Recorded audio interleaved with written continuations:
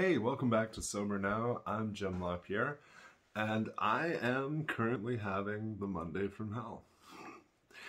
I've learned to laugh about such things. Uh, I've learned to practice what I preach, and currently I am doing a few things.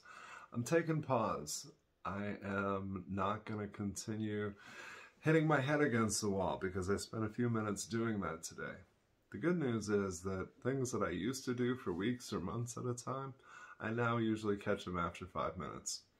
So, I mean, we've all had these days. We've all had the Monday from hell. Uh, I had a plan coming into this morning. I had all kinds of things that I thought were really important to do, and, and they are. But the good news is my tech guy uh, came in over the weekend and upgraded all of our machines, and the bad news is that mine won't boot up this morning. And some days, uh, I, I just think of the military expression FUBAR. Uh, if you're not familiar with FUBAR, it stands for fucked up beyond all recognition. And that's the state that my laptop's in this morning. So I get to practice radical acceptance. Uh, whenever I'm stuck, I go to page 417 in the big book of Alcoholics Anonymous easily one of the best things I've ever read in any text, in any book, and it reminds me that, quote, acceptance is the answer to all of my problems today. And I know that that's true. I know that acceptance of powerlessness is something that I may not like, but I also know that it's incredibly liberating. When I don't accept powerlessness, I put a lot of time and energy into things that I can't do a thing about. I literally would be better off hitting my head against the wall because the end result is the same. Nothing changed, but I have a headache. So today, like I said, I'm taking pause. I'm not going to continue to fight with something. I've tried to reboot my machine a number of times. It's not having it.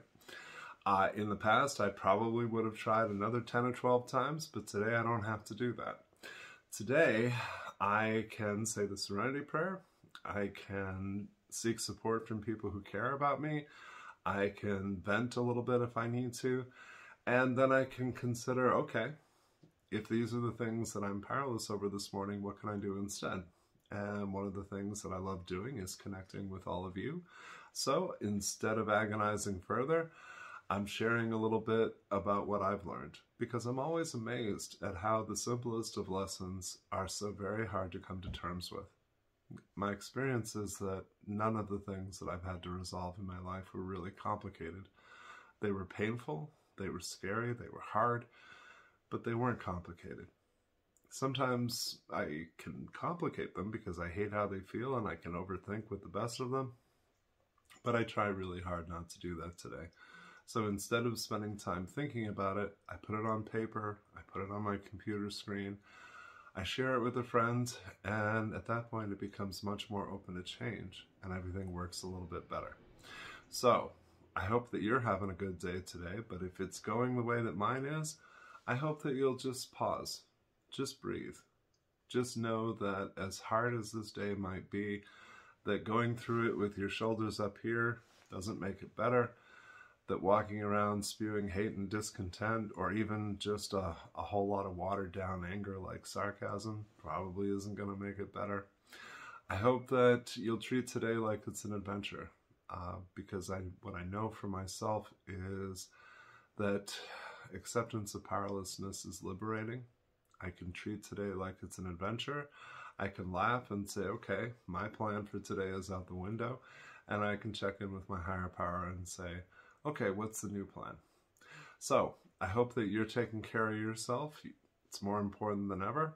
I hope that you'll connect with me. I would love to hear your questions, your experience, strength, and hope. Jim at sobernow.com is how you reach me.